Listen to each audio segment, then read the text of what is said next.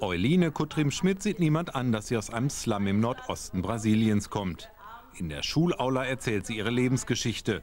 Seit wenigen Wochen ist sie Doktorin der Sprachwissenschaften. Dass sie überhaupt lesen und schreiben lernen konnte, verdankt sie einer kleinen Schule, für die in Münster seit 1968 gesammelt wird. Es war eine, eine Schule, eine Missionsschule in Bacabal in Nordosten Brasilien. Und äh, ich bin zehn Jahre lang in diese Schule gegangen. Ne?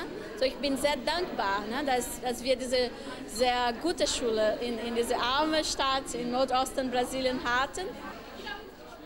Die Menschen leben am Rande des Regenwaldes unter erbärmlichen Umständen. Euline wuchs als achtes Kind armer Eltern auf. Die Franziskanermönche errichteten hier ein Schulsystem.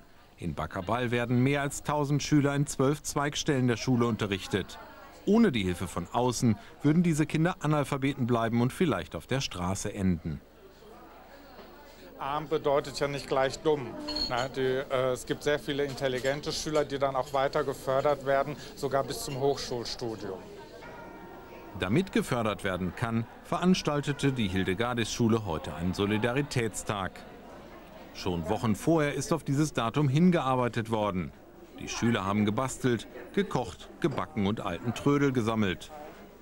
Und passend zur Saison wurden Christsterne verkauft.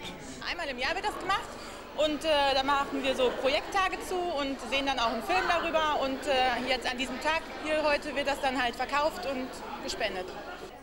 Und bei diesem Engagement ganzer Schülergenerationen kann sich das Ergebnis der Hilfsaktion sehen lassen. Zu D-Mark-Zeiten waren das immer so 23.000, 24.000. In den letzten, sag ich mal, 10, 15 Jahren.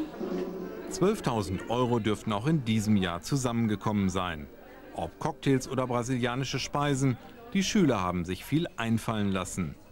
Selbst Kampftänze der Indios standen auf dem Programm, vorgeführt von Schülern. Ich bin sehr dankbar. Alles, was die Schule für mich gemacht hat, ne? die Basis, die ich in, der, in dieser Schule bekommen habe. Ne? Und, äh, ja, und äh, deshalb bin ich hier heute, um dankbar zu, ne? Dank zu sagen. Der Solidaritätstag der Hildegardis-Schule, ein Projekt, das Schule machen sollte. Früher gab es das mal an jeder Ecke, auch hier im Münsterland. Ein Ort